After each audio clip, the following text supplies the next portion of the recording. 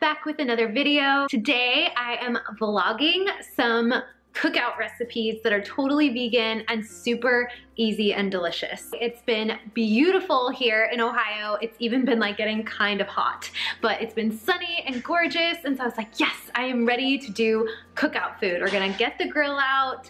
It's time. And then look at the weather now, raining. But that's okay because I think it's just a little bit of a pop-up because it's been like coming and going all day long. It's gonna be just fine. Right, Jack? Sure.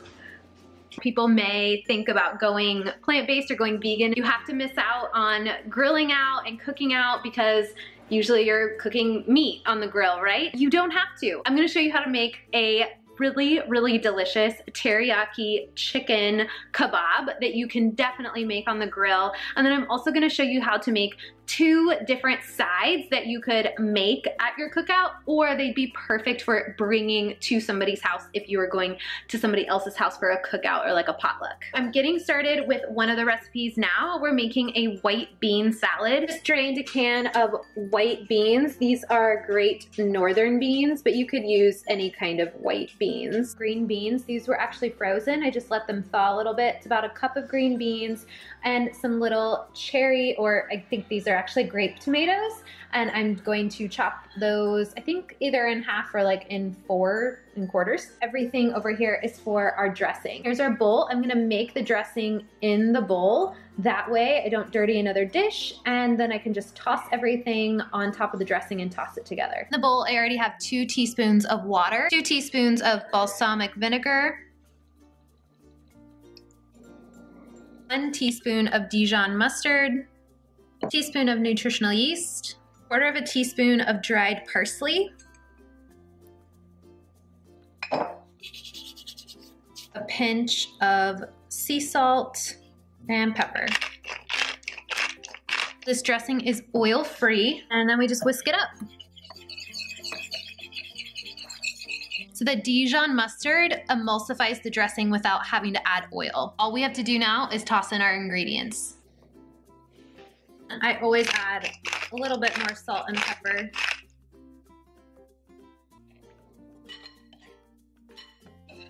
going to set this salad in the fridge until we are ready to eat. It does make kind of like a smaller portion, like maybe enough for four people. So if you're going to a bigger cookout, I would just double the recipe and I will put the recipe down below in the description box. Update, the sun is out. I knew it would come back out. Can you see?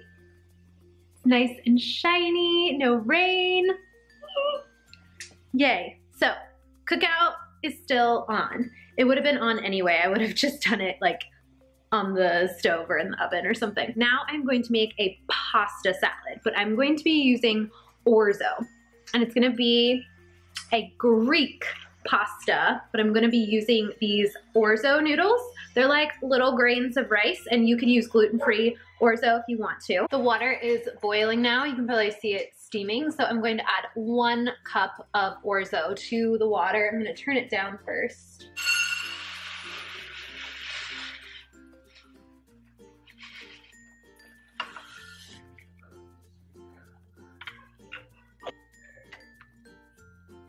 I'm gonna work on the dressing for the pasta salad. Here's everything we need. I've got two cloves of garlic chopped up, half of a lemon, some apple cider vinegar, maple syrup, tahini, and some pepper and my salt's over there, but I am going to add salt. Just like we did before, I'm gonna add everything to this bowl that it's all gonna go in. Clove of garlic, juice from half of a lemon,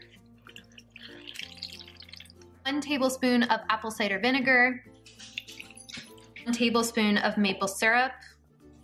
This just adds a nice touch of sweetness without adding refined sugar. Then we need a fourth of a cup of tahini. This is my trick. I don't measure, I just count to four slowly when I need a fourth of a cup of something. One, two, three, four. And I figure that's about a fourth of a cup. Pepper and some salt. I'm gonna whisk it up and we'll see if we need any extra liquid to thin it out.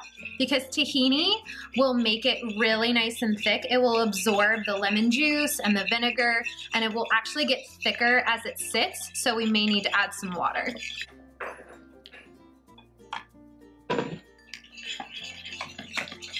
Added about two tablespoons of water.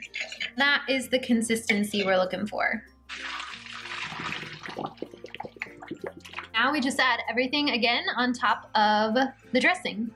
Because this is a Greek salad, we're adding some Greek chopped Kalamata olives, probably about a third of a cup, about three quarters of a cup of chopped cucumber, three quarters of a cup of a red bell pepper. You could also use sun-dried tomatoes or regular tomatoes, but we really like bell pepper, so I'm adding some red bell pepper. Just gives it a beautiful color. It's the base of our salad, so I'm gonna toss this together. I love adding in the orzo when it's still warm because it just absorbs the dressing so much better. It like drinks it up and every single bite tastes incredible. Take this salad to the next level and I'm going to add some chopped scallions or green onions and some fresh basil. The trick with basil is I don't cut it, I just tear it. Sometimes basil can get that like black kind of marks on it when you cut it. It's very delicate, so you tear it, and that's what the Italians do. So that's what we're doing. I literally live for the smell of fresh basil. Mm. It would not be complete without some feta cheese, but of course, we're not using real feta cheese. We are using some tofu feta. I made this tofu feta earlier because it had to marinate for a while, but I'll leave the link to the recipe that I used down below. It was so super easy. This is optional. If you leave it out, it will still taste delicious. It in background.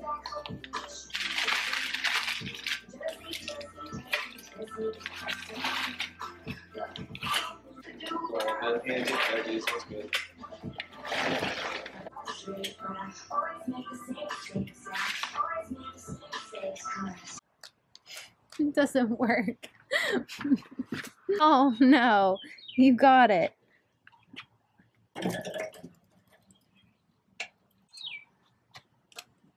We have the grill going. Jack helped me get it going. We have a Weber grill, so it's like a charcoal grill. So you have to heat up the charcoals. That takes about like 35 minutes.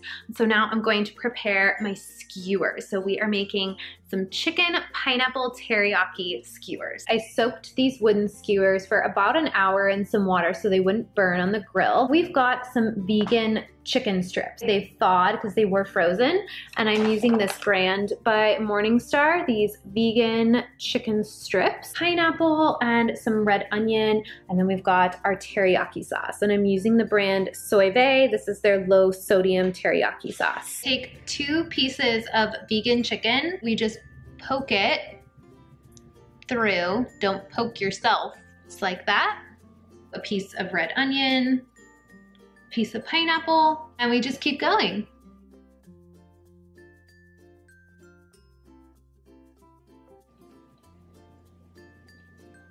I just made three of them because it's just the two of us tonight, but obviously you can make more. Add a little bit of the teriyaki sauce.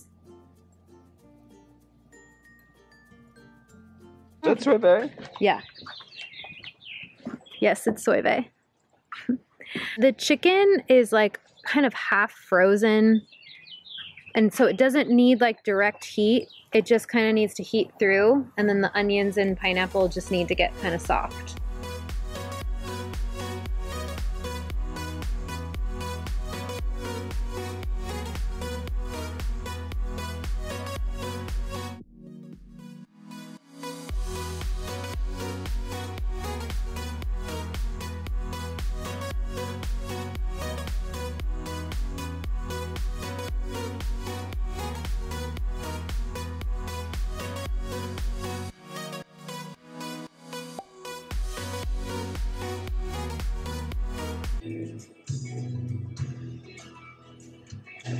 I'm speechless too. You're speechless too. We're both speechless today. I'm speechless over this plate of good food. so we're just gonna listen to some Dave Matthews. I don't know if you can hear it or not. Enjoy our vegan cookout feast It's Spotify. It's not Dave Matthews. Oh, it's just a Spotify playlist. My bad. Is this your Spotify playlist that Big you? Tomac one. Oh, is this your Spotify playlist that you created, or is this just random? I'm not sure. Not sure. I told him. I made the fifth. I told him earlier this week that he needed. To try, Five. I told him earlier this week that he needed to try Spotify because he's been using Pandora. He's warming up to it, right? You're not fully sold yet. No, I mean, it, I think Spotify, it's just more custom. And Pandora, it's just you pick what radio you want to listen to, and that's it. You can't customize anything on Pandora. Right. Spotify you can customize. Exactly. You just got to put the effort in up front. Yeah. Yeah. Sometimes I don't want to do that. the little things. That's right. Hope you guys enjoyed this video. Make sure you leave a comment down below. Tell me what you're gonna make for your Memorial Day cookout if you celebrate Memorial Day. Make sure you subscribe, hit that red subscribe button down below, like this video, and I will see you next week for another one. Don't forget the little bell thing that jingles. Oh yeah, the bell. So if you subscribe, click the bell next to the subscribe button and then you'll be notified if I upload a video. Do you click the bell for people that you subscribe to? Sometimes. Sometimes what makes you click the bell? Because they always tell you. Because they tell you to. Yeah. I'm telling you to. So comment if you clicked the bell. All right guys, see you later. Bye.